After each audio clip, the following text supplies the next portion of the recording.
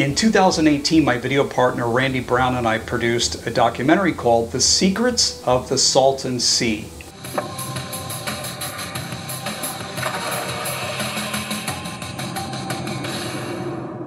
If you were one of the 425,000 people who have watched that show, then you know that there are at least 26 World War II bombers lying on the bottom of the Salton Sea right now.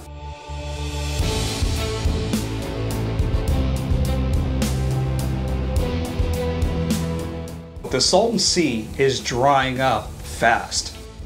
And in our documentary, we pointed out that it's only a matter of time until all of these rusty old aircraft, tens of thousands of atomic test bombs, and possibly even human remains rise to the surface. Water out here on the shore of the Salton Sea is receding quickly. So my goal is to, is to come down here once a month, fly my drone along the shore to see if I can find the remains of any of those aircraft.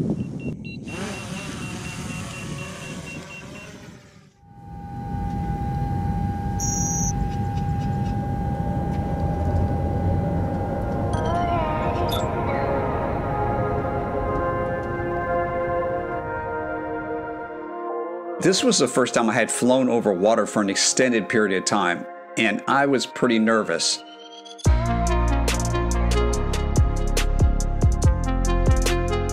But what was worse is that I could not see a thing because of the reflection off the water and the enormous algae blooms under the water.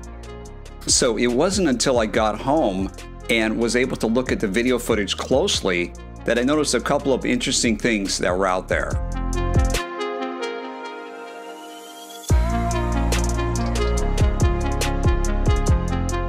Of the 26 aircraft that crashed into the Salton Sea during World War II, 10 of them were Avenger torpedo bombers.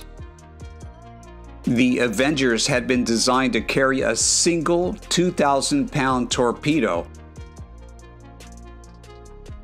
But the Avengers that practiced dive bombing at the Salton Sea didn't carry live torpedoes, they carried identically sized torpedoes made of concrete, and there are probably tens of thousands of these littering the bottom of the Salton Sea.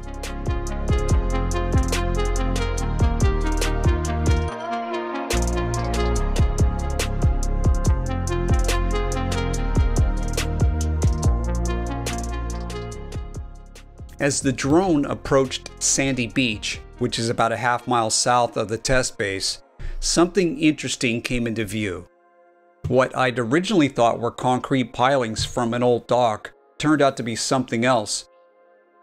My friend Sid Burks, who's an expert on the military history of the Salton Sea, identified the concrete structure as the remains of a naval boat launching system that was used during World War II.